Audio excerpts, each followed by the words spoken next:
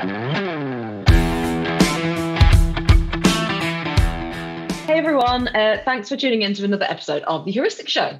Uh, today I am joined by my colleague Shiva and also CRO consultant Lorenzo.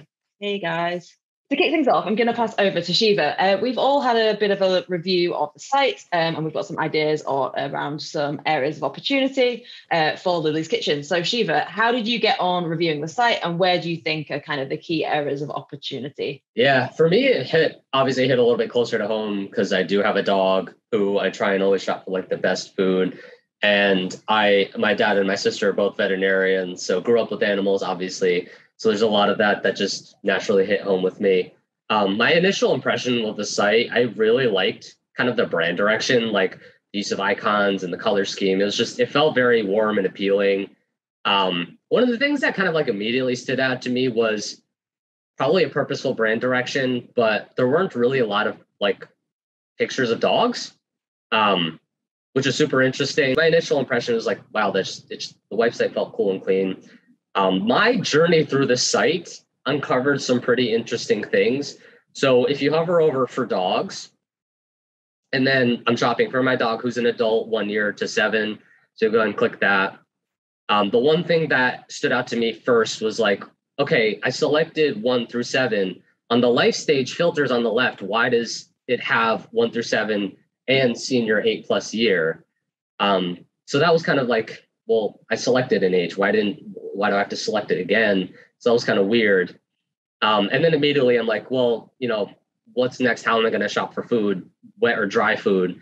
And on the left hand side filters, you didn't see any opportunities to filter dry or wet. Even though if you like hover over the menu at the top, it actually does have like dry and wet categories. So they do do that, just not on the filter options, which felt a little bit of a miss on my side. I don't think images of the product bag are probably as impactful as images of the product itself. So like beef jerky, I don't necessarily care as much about what the bag I'm gonna get is like how tasty does the treat actually look to me. You know, obviously dogs aren't going to be buying this on their own, but you'd like to see the product and be like, you know, I'd love for Jordy to eat this or whatever. So that was something that seemed like potentially testing or and I knew some of some of the uh some of the product images, although I guess this one doesn't, but some of the products actually do have the images. So potentially trying into testing that. Um, it was also hard to see on the category page, like not a lot of differentiation between um, like product to product and potentially testing like product description copy on the pages could be an interesting test for for the category page as well. I think the other thing for me um, when I was browsing the site was very much around this how much to feed calculator. So it's obviously really important that we make sure that our dogs are getting enough food, but not too much. Um, and it's a bit of a minefield to really understand like how much you should be feeding. So when I arrived on the homepage and saw this calculator kind of functionality of how much to feed, I was I was really pleased. So you go through these steps. You say you've got a dog. Um, again, not entirely sure where she sits in here. Probably here. Um, and you kind of go through these. And then I started to kind of come across a few like smaller UX issues. Um, so, for example, here I only have the option uh, to enter the weight in kilograms uh, rather than any other metrics. Similarly, here you're asking what do they like to eat, but I'm here for some new food. So, what if I hadn't tried this type of food before and I actually don't know the answer to this? Maybe I can then say both. Uh, but there's no explanation about well what is the difference? What are the benefits of one over the other? Um, i know also uh, that there's some maybe guidelines about whether there should be a, a mix like if people if if if dogs should have 20% dry and 80% wet then maybe you could tell me that here. Again there's no supporting information on here. And also why can i only pick one? Because i mean my dog like we we get her a selection of different different foods um yeah. So it, I would prefer to be able to select more from here, and I'm confused about why I can't. So say if I click lamb hot pot and then I say finish, and then essentially what I end up with is a recommended calorie amount per day, which is useful, but then the process just completely ends. Like I have a phone number and an email address, or the option to start the process again. But actually, what I want now is now take me to a product page with a suitable amount of like food selected or some indication of how much food or how many tins that means per day, I feel like there's just a really missed, big missed opportunity here in connect, using this data that I've just provided you and, and then right. personalizing the rest of my experience to say, right, okay, we know that you you have a dog that's this big and therefore needs this many calories. Therefore, we recommend this box of you know 18 tins and that's going to last you for four weeks or whatever it is. Maybe you don't need to know how much to buy before you buy it. You just buy it in bulk and then you know you just get through it. But i think for me my brain kind of worked more like you know i don't want to and, and i guess this is where we start thinking about this subscription kind of model of like you know how much do i need over what kind of uh, time frame because I think the whole, you know, the whole purpose of the subscription model is, you know, order what you need, and then when you need more, it will magically kind of appear because I, theoretically you'll have worked out how much you need. So I think um, in terms of the fact that they offer subscriptions, but they're not utilizing that calculator to help kind of facilitate that, um, is is a missed opportunity. The goal is to uh, keep on increasing the percentage of people that choose subscription over one time. There's a lot of things they can do to increase the perceived value of the subscription over the one time. So explain all the benefits even uh, offering additional like intrinsic or extrinsic motivation and benefits just for the subscription customers. Um, one thing also you're highlighting the the frequency. I think also there's an opportunity here to actually recommend the right frequency yeah. uh, based on a bunch of inputs that the customer can even put which they could even be the results of the of the calculator that they've gone through right? Because because you know again i don't know how much food each person has to give to the dog and i don't expect the user to make the mental math of how many mm-hmm. weeks to, to select actually interesting it says that the discount and the free um, delivery is from the, the second order on but an interesting thing is that it's hidden be, uh, behind a tooltip, right? So here, you know, you it would be interesting to actually see how many people click on the tooltip yeah. because yeah. my hypothesis here is that a lot of people don't realize that the 5% discount is not from the first purchase yeah. but it's from the second one so i wonder if if there i believe it's an issue but it would be interesting to to see that yeah. I think like going through this as as a user, um, I completely questioned that when I saw 5% off and free delivery and then I entered the basket and the checkout mm. and I didn't see reference to that 5% off or free delivery.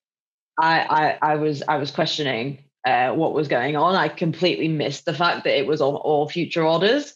Um, and like you say, where's that incentive? Like yes, I would get that on future orders, but right now I'm not really thinking about future orders, I'm thinking about right now.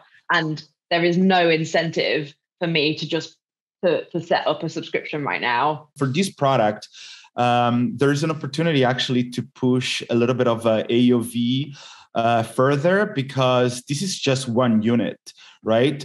I understand there could be uh, maybe a segment of, of people that they just want to try. Maybe they're not too sure about uh, what kind of dog food they want to switch from right now. And they might want to try this little quantity. But I think, you know, for those segments of customers that are like, no, no, no, okay, we want to go big and like try it for a lot of different days, um, one quantity is is a little bit too little. So I think there's an opportunity here. You know, you can do it on the product page, or you can even do it on add to cart to actually push people to buy more quantities um, to to increase uh, AOV. Um, and then I think the the next uh, thought I had was more on uh, the checkout. So the, the interesting thing that uh, is about this is that when uh, the user selects subscription and then goes to the checkout, uh, the guest checkout is completely gone. Uh, basically, just gives you in the first step of the checkout just two options: either to sign in if you have you know previously created an account, or to create an account, which is like super painful. It would be interesting to see what the exit rate of, of this page is, because my hypothesis is quite high because they force you to uh, register and create an account. So it's weird that they don't. I understand why they're not displaying the the guest checkout because in order to manage the subscription, you need to have an account. So there's a couple of solutions that um, you know I wonder if they they do that for the other checkout, the one-time order checkout. They could a uh, option one, they could add one field in the next step of the checkout, the delivery, where they just ask um, the user to fill out a password, and that's how they would create uh, the checkout. Or another option, which I wonder if it's something that might already be doing for the one time checkout, just simply add uh, the ability to create an account on the thank you page. So once the user already already bought the product. Could I add two points of feedback on this form too? Mm-hmm. So on the you can see how the form occupies 50% of the page and there's mm-hmm. just white space on the right. I think it's because they save that area for the guest checkout, but if you're not guest checking out, because they're not subscription. So there's just plenty of opportunity knowing that the user is subscription to boom, throw some benefits down there. But secondly, I just realized this. Look at the look at the tick box. Tick this box if you don't want to receive emails. So you're automatically opting in and you have to opt out instead of the other way around. I, that's strange. Sneaky. 100% with you.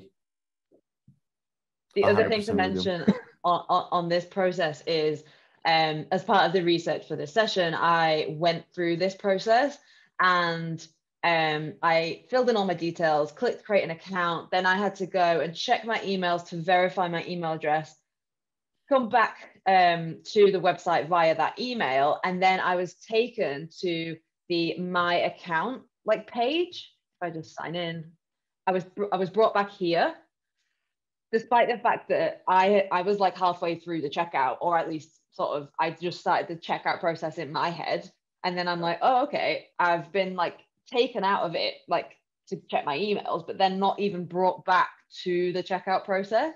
Then obviously, luckily the the item was still in my basket, so then I I kind of had to go through the process again. So just to wrap up, um, quick fire round, Shiva, if you could test one thing on the Lily's Kitchen website what would you test and why? Yeah, I think like content felt like an opportunity as just like a theme of if you like look at their product pages, they have some really cool content. They have some u- awesome use of graphics.